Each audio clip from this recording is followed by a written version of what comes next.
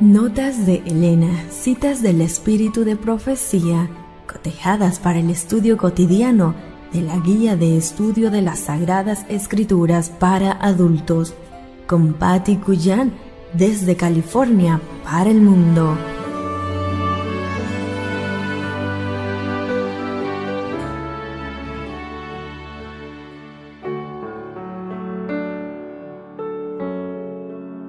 Hola, muy buenos días, qué gusto me da saludarte y saber que estamos juntos de nuevo. Ser padre es una de las mayores bendiciones del cielo y nuestro día se llena de emociones cada vez que vemos la sonrisa de nuestros pequeños. Agradezcamos al Padre Celestial por su grande amor y por cada uno de nuestros hijos. Gracias por estar conmigo en esta mañana para juntos repasar Notas de Elena para las lecciones de la escuela sabática Las etapas familiares. Domingo 19 de mayo, titulado Padres sin hijos. El amor de Elcana por Ana era profundo y duradero, sin embargo, una sombra manchaba su dicha matrimonial. Ninguna voz infantil alegraba su hogar. Con el paso del tiempo, el deseo de perpetuar su nombre, como había hecho con muchos otros, a adoptar un curso que Dios no sancionaba, introdujo en la familia una segunda esposa para ser subordinada a la primera. Esta acción fue motivada por la falta de fe en Dios y fue atendida por resultados malvados se destruyó la paz de la familia hasta ahora unida y armoniosa. Sobre Ana el golpe cayó como un peso aplastante.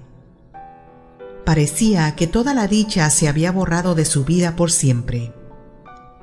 Ella soportó sus pruebas sin quejarse, sin embargo, su dolor no era menos agudo y amargo.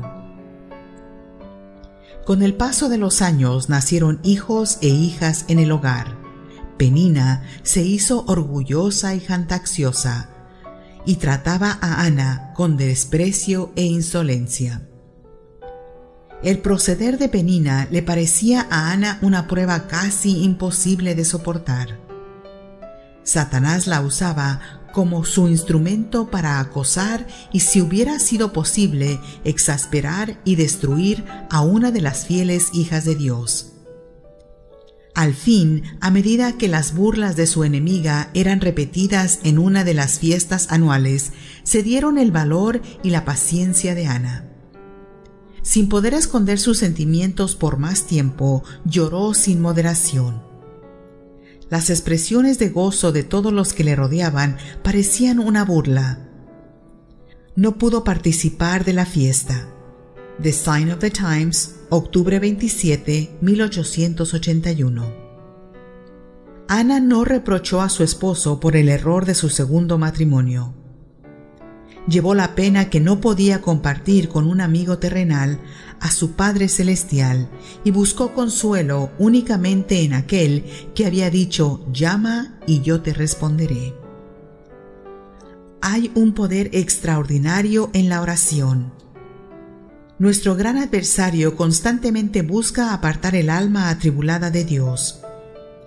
Una apelación al cielo de parte del santo más humilde le causa más pavor a Satanás que los decretos de los gobiernos o los mandatos de los reyes.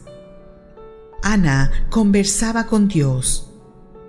Creía que su oración había sido escuchada y la paz de Cristo llenaba su corazón. La oración, página 134.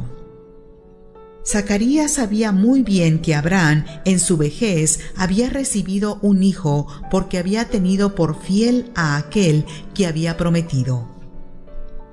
Pero por un momento el anciano sacerdote recuerda la debilidad humana. Se olvida de que Dios puede cumplir lo que promete. El nacimiento del hijo de Zacarías, como el del hijo de Abraham y el de María, había de enseñar una gran verdad espiritual, una verdad que somos tardos en aprender y propensos a olvidar. Por nosotros mismos somos incapaces de hacer bien, pero lo que nosotros no podemos hacer será hecho por el poder de Dios en toda alma sumisa y creyente. Fue mediante la fe como fue dado el Hijo de la promesa. Es por la fe como se engendra la vida espiritual y somos capacitados para hacer las obras de justicia. El deseado de todas las gentes, página 73. Te espero el día de mañana y recuerda, puedes tener paz en medio de la tormenta, porque Dios está en control.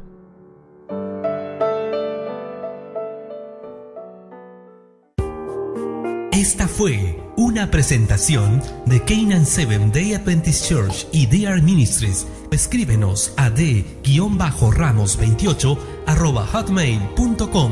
Te esperamos.